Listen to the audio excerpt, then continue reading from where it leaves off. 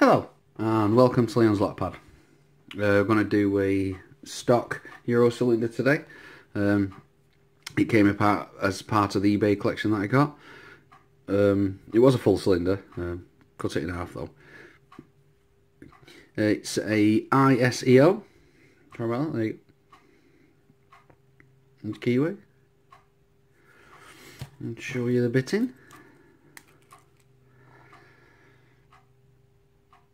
Not too bad. Uh, it's an original key. It says made in Italy.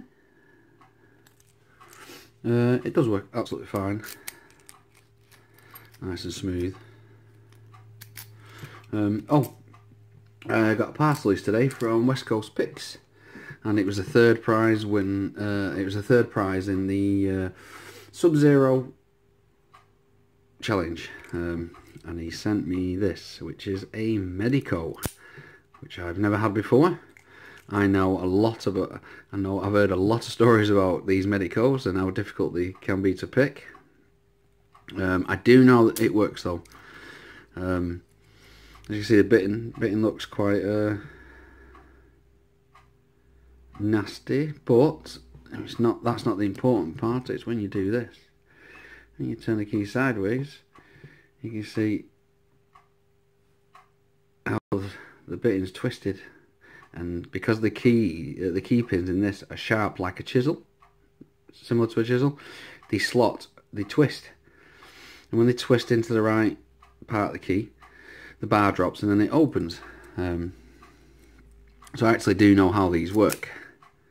Uh, it's just a case of learning how to pick it I guess but uh, it should be fun. And thank you very much, West Coast mate, for sending it me.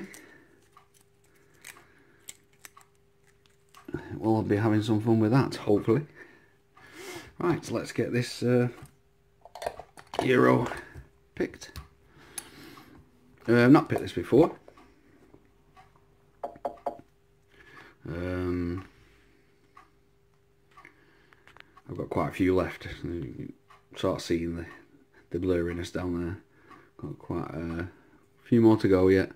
Uh, I'm going to use a homemade tension wrench, one of my favourites. And um, no, I'm not going to use a medium up, sorry. I'm going to use this pocket pick that I got from Foxy. Absolute work of art. I just feel so good, it's so nice. Get this sideways so people can see, there we go. a little click out of, I think that was five.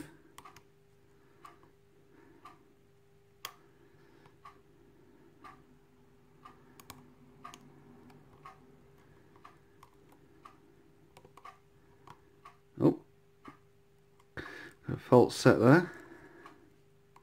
Quite a deep one actually. Let's look at the rest. The rest, no. One. One's definitely uh, counter rotation. Nope.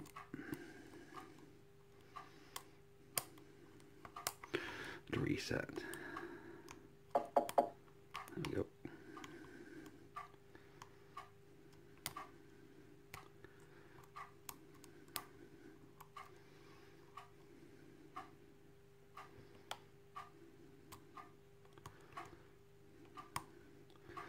Go three.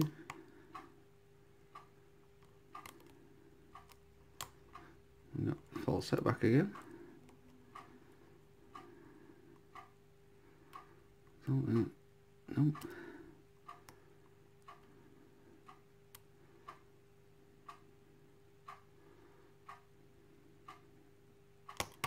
And there we go.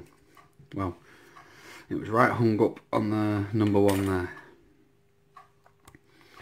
Right, let's get this uh, let's get it gutted. Oh, I forgot. I realised as well the other day. Uh, I mentioned quite a few videos back that I was going to do um, a challenge for everyone to have a go of. Um, I haven't forgot about it. All it is is I need to learn to do it so I can do the video to show that I, uh, you know, it can be done.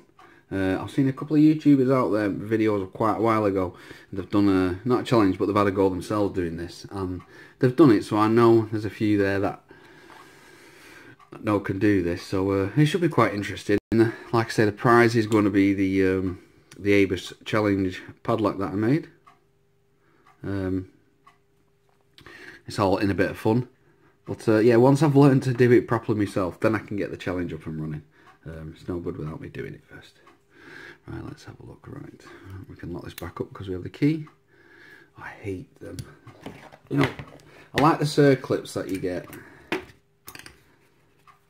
but I hate these because they never fit back on right.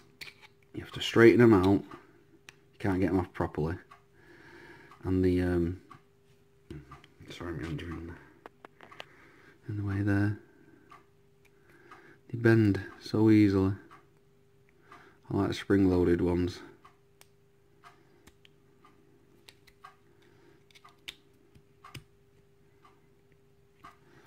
there we go got it partially off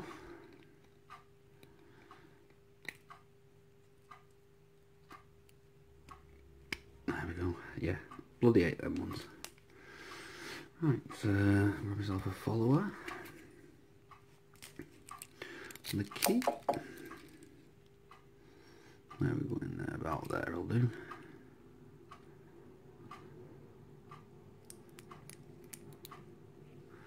There we go. Let's see what we got.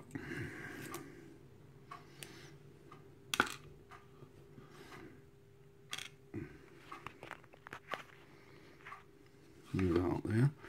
We got a standard key pin, standard, standard, standard, standard.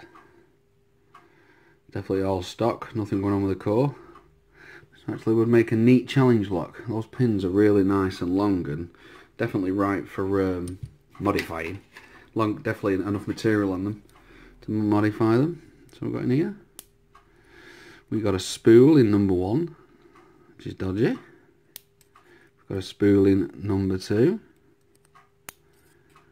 We've got a standard in number three. We've got a spool in number four. We've got a spool in number five. Wow, I should have called this a spoolie. Let's uh, that's them all all standard uh, copper spring, uh, brass. Oh no, copper springs, but the uh, they could tell they're not been messed with. They're they're in very good condition. Them springs, um, but this really is just full of spools. Can definitely do something to change them as well. But um, yeah, there's a lot of I don't understand why there's so many spills in that.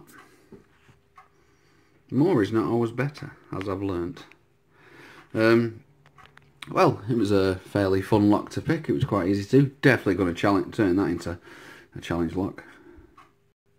Well needed. Uh, looks like it's a, quite a nice lock to do. But um, yeah, well, I hope you like this video. And thank you very much for watching. Uh, please subscribe don't forget to like. And bye.